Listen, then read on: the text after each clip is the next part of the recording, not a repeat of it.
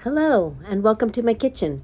We're going to be decorating a jar using a napkin with birdhouses and flowers, some leaf green paint, decoupage, and white paint that is made for multi purpose use and is very good for using on glass.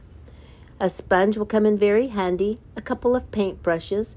You'll need some scissors to cut out the napkin.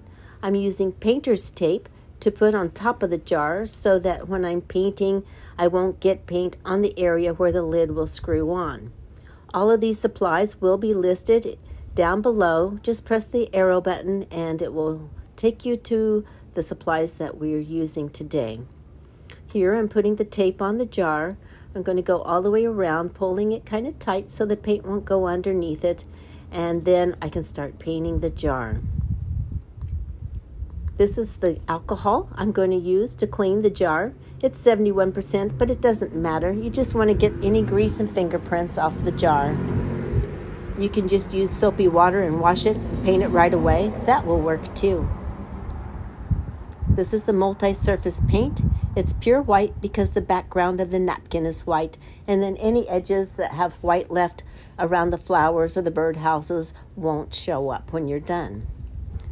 I'm going to be sponging this on. This is a fairly large sponge because it goes faster. You want to cover the whole jar, the top and the bottom. You're going to use two coats, let it dry completely between each coat, and then in a minute you'll see that we're going to paint with the brush the final coat, which will fill in any gaps or places where the bubbles that these sponges make don't quite cover the glass but you can tap those bubbles out after you've painted it and it starts to dry a little bit with the sponge by just gently tapping with a sponge that doesn't have any more paint added to it. I'm going to use a paintbrush to get paint up around the ridge here and then sponge that in so the texture will be the same all the way around. This is the end of the first coat and after it dries it takes probably 30, 45 minutes maybe to dry unless you use a blow dryer. And then I do the second coat. And right now I'm tapping out those bubbles and making it a little bit smoother. Texture is okay to have, but you don't want large bubbles showing up in the paint. And you can see it's much smoother now than it was a few minutes ago. Don't forget to do the lid. Got to cover the whole thing. The lid, you're going to need at least three coats because it's darker in color and that silver has a tendency to show through.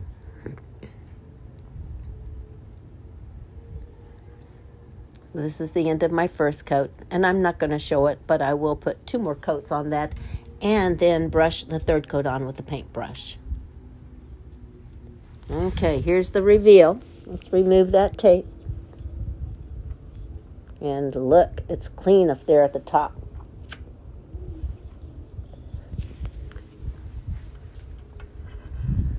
Now I'm using the paintbrush and the same paint and I'm going over the whole jar. This will make it smoother and fill in any areas where the glass may still be showing through because of the texture from the sponge. Now we're going to work a little bit on fitting this napkin onto the jar. So it's going to take a little bit of extra work. The napkin does fit all the way around the jar. I just wanted to show you that. I'm using some Cuttle Bee scissors. You can use any kind of fussy scissors to cut this out. And I'm going to start out by just cutting out one quarter of the napkin. We'll be using the flowers from the other side of the napkin to go around the sides and the back. Again, I'm going to fit it on and yes, I am going to cut off that purple birdhouse and I'm going to trim it up really close to the edges. You can leave some of the white in there. It's not going to show up once you're finished. But I do like to get the edges trimmed fairly close. Don't forget to cut out that bird's tail as I cut out that purple birdhouse.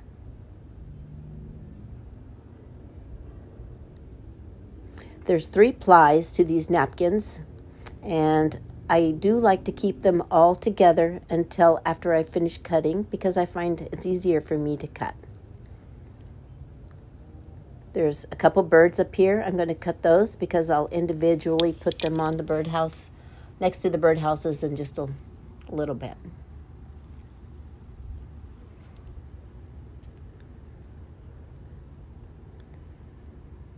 There we go. Going to trim out his tail a little bit more. All right.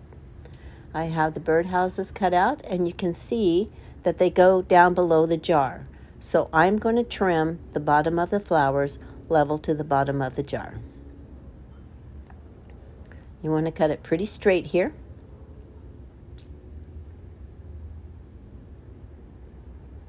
And then it's going to be a perfect fit. There you go. All right, now let's match up where the flowers are going to meet with the rest of the napkin. This section is only a quarter of the napkin, and I realize that it doesn't go far enough around, so we're going to use the flowers from the other side of the napkin and cut about three quarters of the flowers. You want to make sure that it goes all the way from one edge next to the birdhouses to the other.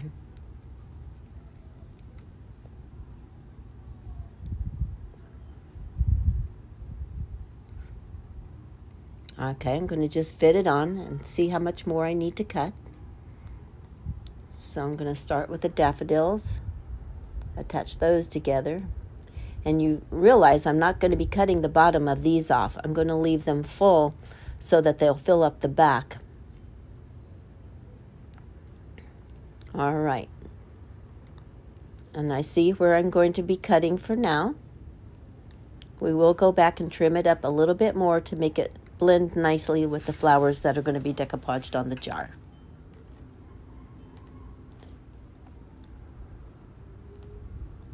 So I'm just cutting these out.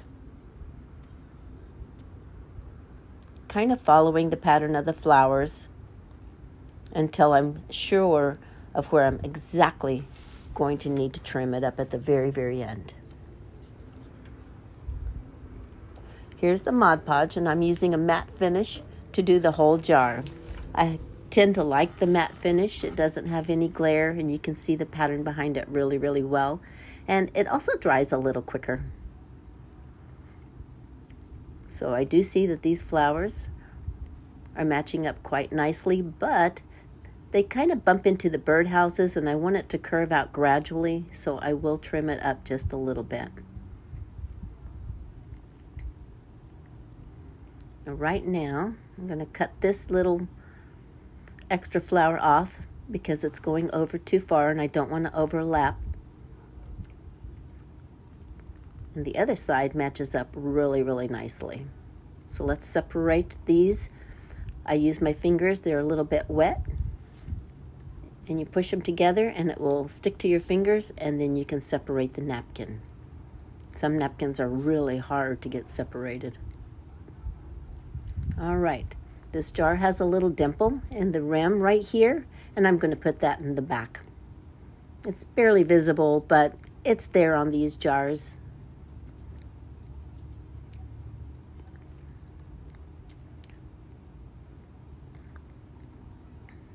Okay, so we're going to put the Mod Podge on.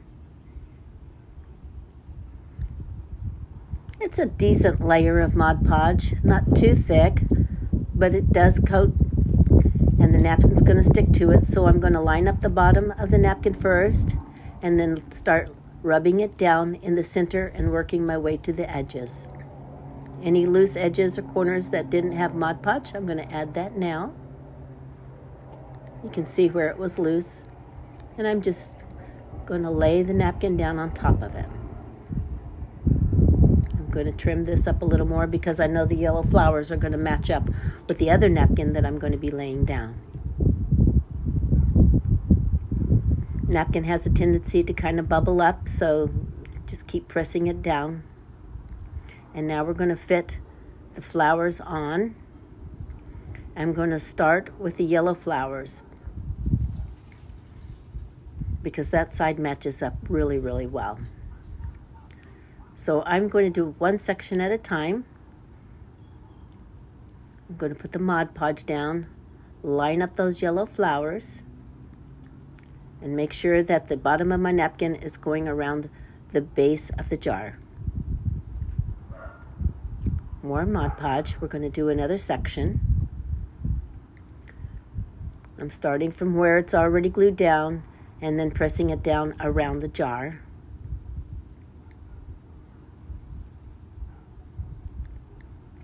Another section. I'm just lightly rubbing it so that it lays down. Don't press too hard. You don't want it to tear. You don't want it too wet because that will also make it tear. You just want it to have enough paint on there to catch the napkin. It will have more coats on top. But I didn't put glue all the way to the edge because I want to see how the flowers are going to match up. And I'm going to want to trim this down. And you can see I'm going to trim around the red flower and down to the purple. But I want the red flower that's already decoupaged down to be complete, so I'm going to trim around that one and then they blend together very, very well.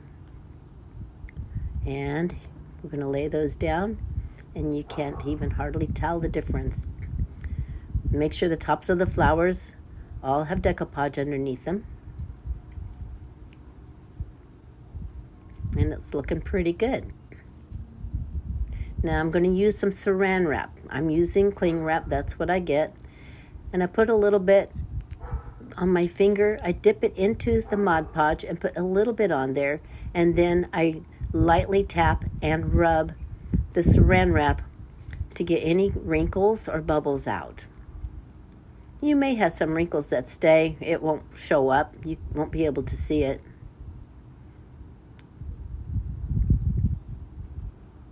But you do want to be gentle with this. And you want to get all of the bumps and bubbles and wrinkles pressed down. And then you want to let it dry. And there we have the first layer of Mod Podge on the napkin and it's already looking pretty good. I'm going to put the birds facing into the birdhouses, so there's going to be one on each side of the set of birdhouses.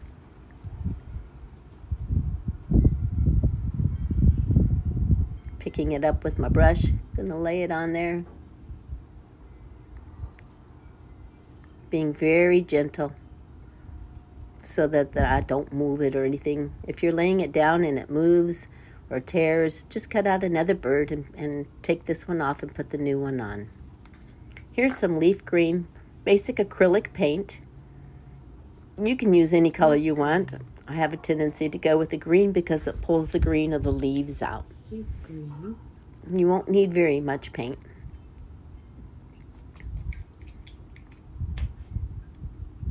You can see how much I'm pouring there. And I'm going to use a dotting tool. It's the larger one. I'm a set that has I think it's the green one, but you can use a pen or a pencil or anything that has a rounded tip on it. Every time that you make a dot, you're going to put the dotting tool back into the paint and your dots will all be the same size in general. Go all the way around the rim of the jar. At the end, you can kind of space them to make that last one fit in but remember, less dots is better than more. And now I'm going to randomly put dots evenly spaced around the jar, all the way up and in between the birdhouses. And then I'm going to put a second row of these dots in between each one, but down a little bit. And if you just want to randomly put your dots on, it works out just as well.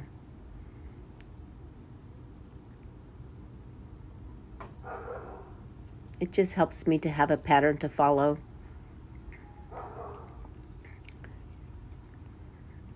All right, now I'm doing the third row.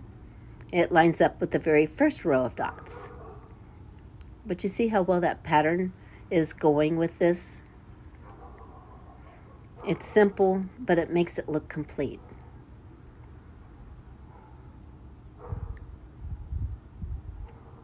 Now, when I finished, I decided to go ahead and put two more rows of dots towards the top because I realized it just didn't quite look finished. So I'm going to show you how to do that next. So again, I'm going in between the two dots that are underneath it. All the way around the jar and one more time where the jar is flat. Right up there at the top. And this made it look complete. That's my opinion, and I do like the way that it turned out.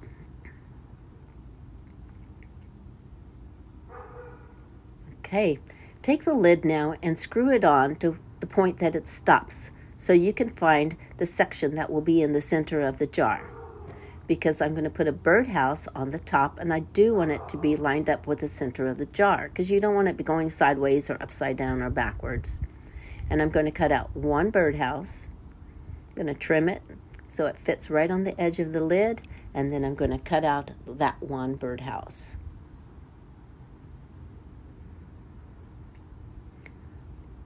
You can leave as much of the flowers on as you want and the green leaves.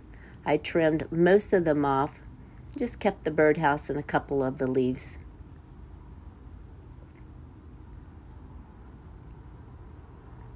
And I like the way it looked. You want to line it up, make sure that it's pointing towards the center. Separate those layers. Ooh, almost stuck to my finger there. Tear it apart gently. I'm going to place it one more time to make sure I have it where I want it. That'll do. I'm going to put that Mod Podge on there.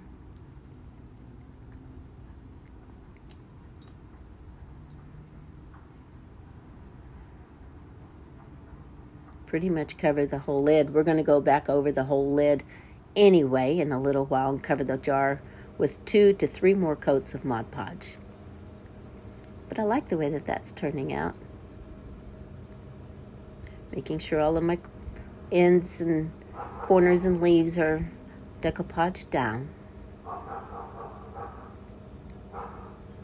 I'm just using a brush to smooth this out. But now I'm going to get that saran wrap dip it into the Mod Podge, and lay it down.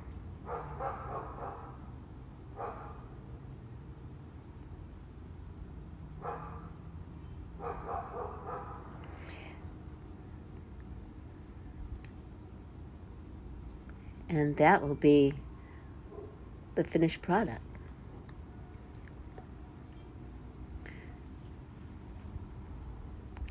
The Mod Podge has dried on the jar and I'm just going to go over the whole thing. Cover all of that white paint with the brush. You can even go a little bit up to where the lid will screw on because you want that paint completely covered with Mod Podge. Cover all of the dots. Cover all of the flowers. You can put it on a little bit thicker here if you want to, but let it dry completely and then put two more coats. I do recommend three total coats. And then you can hand wash it if you want to. And when you store things in this, make sure they're dry items like M&Ms or rice or flour or nuts. Wet items will kind of react with the lid. It doesn't work very well, but dry items work very well. Here's the finished product. I think it turned out really well, and I hope you enjoyed this video. You can use any napkins that you want. You don't have to use birdhouses, but this is the method that I use when I want a decoupage. Be sure to hit the subscribe and the like button, and I look forward to seeing you again really soon.